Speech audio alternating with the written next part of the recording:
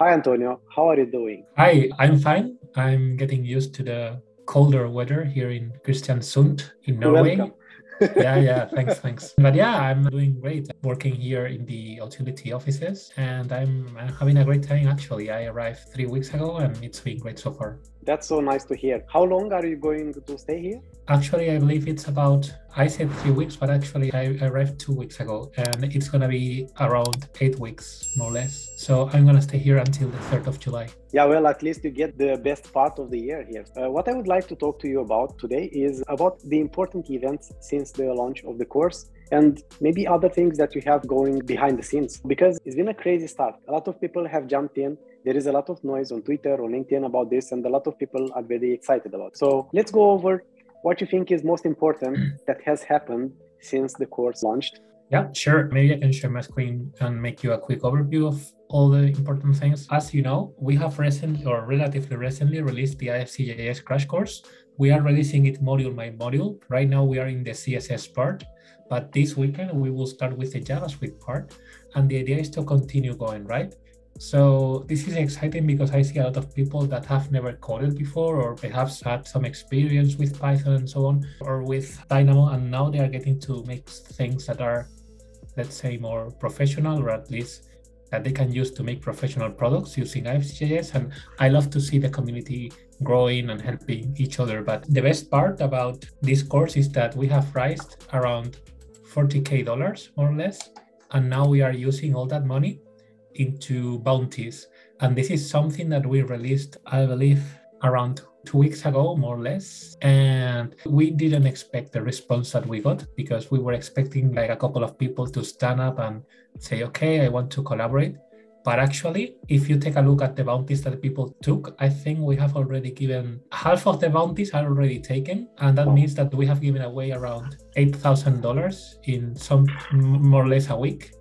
And that means also that in a week we have gotten things like a DXF export, which is much better than what we have before. So now we can you can take an IFC and export all the floor plans in DXF or PDF or whatever you like. There's also a person working in a clash detector, which is almost finished, which means that now you will be able to build clash detection with IFCJS. A lot of documentation, I don't know, many things going on at the same time and there's a lot of people excited about this. And the plan is to continue with that. We will release more bounties. We will give more money to the community that contribute. And the interesting thing is that now if you take a look at github.com ifcjs hello world the community is starting to create their own bounties. So here you see two bounties that have been proposed by the community. And this, these are people that are patreons. And the idea is that in the medium term the patrons are going to be the people that decide what bounties do we have to do in depending on what they need. So the people that contribute to the project are the people that decide what the next steps are in the short, medium term. So that means that I can also vote on what you are going to do in the future. How can somebody do that? If you go to issues and you create a new issue, there's actually a proposed bounty template. And if you get started, you have something like this and you can explain your bounty and simply submit that. And it automatically has the label and everything. So we can talk about it. And in the end, the community decides what the next steps are. And we are trying to empower the community with this.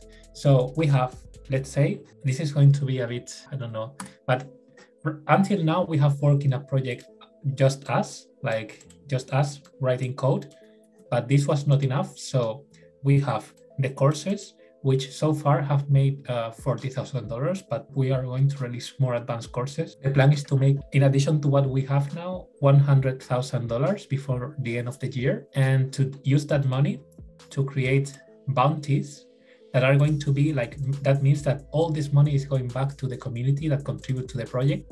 And this goes back to the code in terms of new features new documentation and so on. And of course this has an impact of you know the more we have the more we offer the more people want to learn which means that the more people will submit to the course so we get generate more money. And that means more bounties and the project keeps growing. This is more or less the model of what will happen in the short term in ifcjs we are also preparing something that we haven't announced yet which is a small web page in which people learning IFCJS and company using IFCJS will be able to participate in a board that is similar to this board.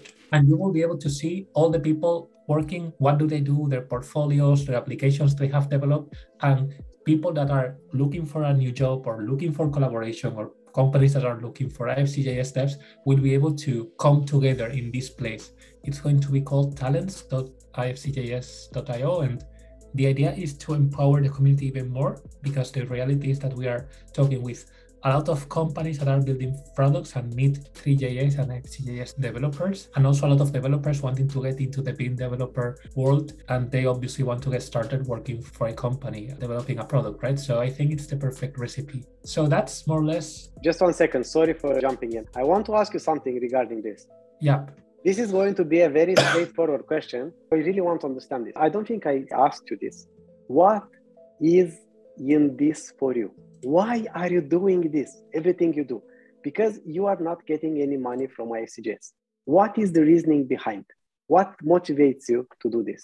I don't know. Why do some people build ships inside bottles?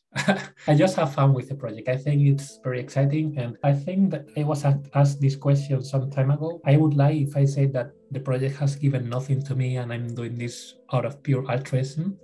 I'm working for a very nice company thanks to the project because the project gave me visibility. I'm meeting a lot of new people. I'm getting invited to a lot of events. I'm learning a lot from a lot of people that probably would be out of reach if I w- wasn't doing this project. So, yeah. yes, I mean, I'm right now. I'm not getting any money out of it. All the money goes to the you know to the community. But I think there's much more in life rather than money. And I'm not just talking in a hippie way, like really having visibility, having contacts, knowing people. It's also other very important personal assets. And the project has given me that. But to be honest, the ultimate reason is because I think it's something that makes me excited and that I would love this to succeed, you know? You already succeeded. Yeah, no, no, no, but this is i mean this this is that, that does not mean that you cannot do more but just remembering what we were discussing last year a lot of stuff has happened. You achieved so much since then. You and everyone involved because you are the motivator you are the motor behind. I'm sure there are fighter people that i don't see about them but they are doing a tremendous job here right? Mm. i don't know too many people involved but they are definitely more contributing because otherwise it would have been not like this. Yeah for instance jesus is the ceo of apogea a engineering company in Malaga, Spain, mm-hmm. and he has contributed a lot with this because until recently the project was just a bunch of guys developing code. Now we yeah. are trying to not only do that but also make the whole thing scalable. And he has helped a lot in that sense because it's a bit hard to have both the technical and the commercial view of things. And I think he has a lot of experience commercial wise. So he was more or less the one that proposed us to you know uh, start developing something like this that could make it scalable. One thing because before i forget and we can go back to this later if you want but another thing that we have done we have presented the project to the google google has released a grant. um, yeah a grant and we have presented the project to that grant. Let's say revealing what's going to be the medium term plans for the project. Right now the project is just a you know that when we are talking about a platform a BIM platform it has two parts the front end and the back end right? Of yeah. course this it can be much more complex but in summary it's something like this. And right now ifcjs is just making the BIM part of the front end. We are thinking now of making a let's say full front end so that is ready to use by any framework something similar to the forge viewer that is ready to use straight out of the box again completely free and open everything but much more opinionated. Something that is more finished that is customizable but ready to use. And perhaps in the future we also set up something regarding the backend and the infrastructure. And who knows? Maybe because this has to be paid simply because when you have infrastructure you are renting computer from google or amazon and that costs money. That's that's the reason why it cannot be free unless you have your own computer have your home and so on but nobody does that. So who knows? Maybe in the end we manage to have a whole something that is exactly like forge but that belongs to the community. And that of course costs money but perhaps the money that it costs is just the, the money of the infrastructure. So it would be like an order of magnitude cheaper than what you can get out of SaaS services like Forge. Meaning that if tomorrow a company wants to build a BIM product, they have everything. They have all the pieces that they can have from Forge, but without the surprises like, okay, from now on the tokens will be three times as expensive, things like that, right? Which recently happened in Forge. This doesn't aim to get money. The aim of this is to allow anyone to, to become a BIM software developer, either as an individual or as a company. And in the end, again, we are not, I, I believe, we are not making anything new. We are just making the same stuff that we all know, but making it open, which, in my opinion, it's something so strong. If we are able to reach a critical mass of technology and community, it's so strong that it's going to be very hard to compete with it. Because, you know, imagine that you have a business model based on, let's say, clash detection, and suddenly we release a clash detector that is free and anyone can create their own clash detector tool relatively easily. I believe that if the main asset of your business is the technology that you have closed, it's very fragile because how are you going to compete with the 50 new companies that come up with a clash detector, right? On the contrary, I believe that if you have a strong community, that is not something you can destroy or at least endanger that easily. Having a strong community means that if tomorrow everything changes and all your technology is obsolete, they will stick with you because they trust you and they will probably trust that you will be able to come up with a solution to the problem. Yeah, that's true. That's true indeed. Regarding the Google grants and so on, do you think there is a real chance to get admitted for that and get some money from Google? No idea. I have absolutely no idea. Actually, you can check that out here, I believe. No, it was in here. I wish that they give us something. I'm not sure if they're interested in this. I am aware that Microsoft is interested in in making digital twins. They released something recently. But yeah, I don't know. Here we just made a list of features that Forge has, the features that we already have and the features that are going to be done. And we are making a simple estimation, which we say that okay, we're going to get this money this year probably. So if we get this from Google, we will probably be able to carry out all of this in, let's say, less than a year. That would be amazing.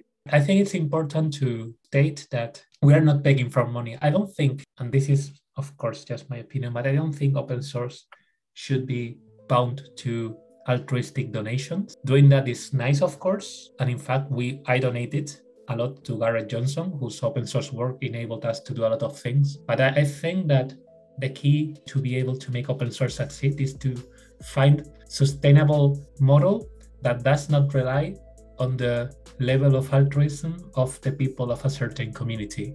So that, in other words, people pay because they get something in exchange in addition to the good feeling of okay i'm helping making the industry better which is nice. I completely agree with that feeling but i don't think it's a very realistic sustainable model. That is very true and there is other aspect to that. I don't know how you are but every one of us even if our unconscious mind expects in a way to get something in return, even if it's just symbolic or insignificant, right? So that's why it's very difficult for a lot of people to just donate and not being a part of community or something like that. Even being a part of a chat or something like that or getting some access to some materials some courses and so on is incentivizing you to be more willing to contribute i think this is a key part of the success so far so this was very very very well done also another the other day i was speaking to the ceo of a big BIM software company and he was asking me, okay, he loved the project, by the way. I won't say the name because I think they will support the project publicly soon, so I don't want to spoil the surprise. Wow. But they asked me, what if the detector that you are doing is not as good as the clash detector of a someone that has been making clash detection for years? My answer would be, it doesn't matter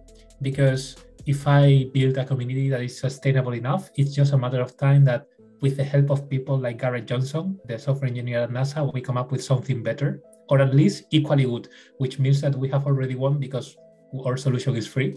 So that means that if we are in a tie, we win. And that is also an advantage. Yeah, yeah. And uh, not only that, it will just snowball. Even if in the first phase it will not be equal, you will have other people contributing, and each very small contribution will amount to something really big, right? And I'm thinking there is still not a place where you can just find these rule sets available for everyone.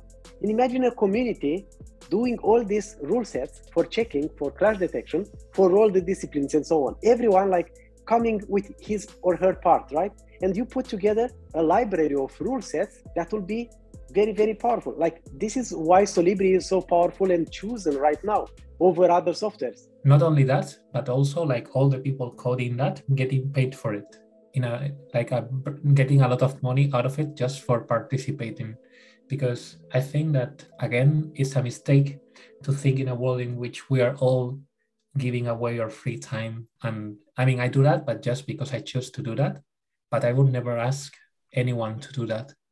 And I think that the best, I mean, I totally agree with that view, but I would add, yes, a lot of people making that in a very agile way so that probably many big companies won't be able to keep up with the speed, but also getting paid for that, getting paid with the money that the community is able to mm-hmm. generate with their own resources without relying on donations, which by the way, just out of donations, we are making, I believe, something like almost 1,000 a month, which is, in my opinion, already a decent quantity and it's getting even higher.